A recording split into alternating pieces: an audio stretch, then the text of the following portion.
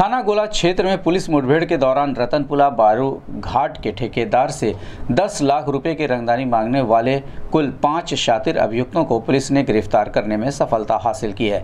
गिरफ़्तार अभियुक्तों के पास से पुलिस ने 9 एमएम, एक पिस्टल, एक कारतूस व तमंचा। कारतूस तथा घटना में प्रयुक्त फार्चूनर व सफारी बरामद किया है। गिरफ़्तार अभियुक्तों में एक मुन्ना बजरंगी और एक अमरजीत यादव गिरोह से संबंध रखते हैं। गिरफ़्तार अभियुक्तों की पहचान धनेश यादव, पुत्र रमाकांत यादव, मनीष कन्नौजिया, पुत्र स्वर्गीय मोतीलाल, अभय यादव, पुत्र तेज बहादुर, विवेक तिवारी उर्फ़ सोनू तिवारी, पुत्र राजेश कुमार, लोरिक यादव, पुत्र स्वर्गीय राम स्वरूप के रूप में हुई है, जबकि छह अभियुक्त मौके से फरार हो गए।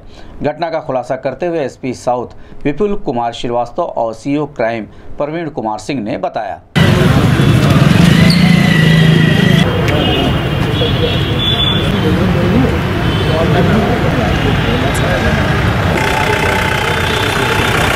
अभी आइडेंटिफिकेशन मतलब पर्यटक के लिए मतलब कह सकते हैं बात भाई आपने आपका कोई आपका तो नाम तीन आदमी थे तो मुँह ढके रहेंगे सही रहेगा मुँह ढके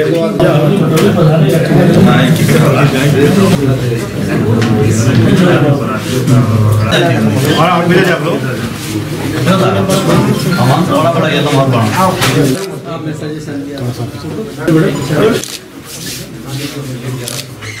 ठीक है।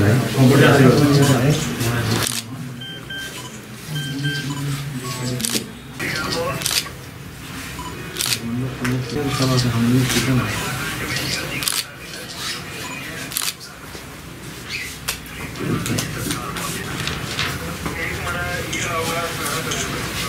थाना गोला क्षेत्र में 27 दस अट्ठारह को 10 लाख रुपए बालू ठेका से फिरौती के लिए मांग की गई थी रंगदारी वसूली के लिए। इस संबंध में स्वाट टीम, क्राइम ब्रांच की और इंस्पेक्टर गोला ने सामूहिक रूप से प्रयास किया था। सूचना आज क्राइम ब्रांच को मिली थी। स्वाट टीम को सुबह सूचना मिली। इनकी एक मुठभेड़ हुई आज। इन्होंने छः पैंतालीस पे आज सुबह गोपालापुर है। वहाँ पे गोपालपुर गोला के पास। वहाँ पे मुठभेड़ हुआ है। थाना गोला की फोर्स और स्वाट टीम ने उसकी गिरफ्तारी की है। इनमें पाँच अभियुक्तों की गिरफ्तारी हुई है। और ये सातिर अपराधी हैं। इसमें एक मुन्ना बजरंगी गैंग के भी अपराधी हैं। और इनका जो एक क्राइम करने का जो तरीका था कि ये करीब 10 ग्यारह ग्यारह पर्सन यहाँ गए थे।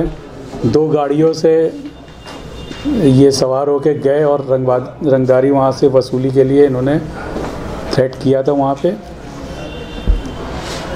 इस संबंध में अभी पाँच अभियुक्त जो गिरफ़्तार हुए हैं जो धनेश यादव मनीष कनौजिया अभय यादव विवेक तिवारी लोरिक यादव।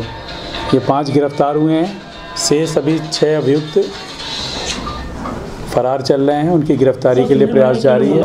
हम अमरजीत यादव। अमरजीत यादव है जो आजमगढ़ का है। उसके उसमें इसका एक भाई नामजद भी है, जो मुकदमे में रामजीत ये बड़े अच्छे अपराधी हैं और इस तरीके से ये मिलजुल के काम करते हैं। ऊपर हमला किया था और पप्पू निषाद पे। तो उसमें भी ये, अरे मनीष कनौजिया नामजद था, ये भी था मौके पर और इसके साथ ही एक टीम वहाँ पे आई थी। तो अभी अभी इन लोगों ने सुनियोजित अब तो ढंग से अमरजीत यादव के नाम पे ही वहाँ से रंगदारी मांगी गई थी रतनपुरा और मलौली घाट से। और उसमें जो लोग नामजद हो पाए थे, उसके अलावा हम लोग ने ये लग के गाड़ी को ट्रेस किया।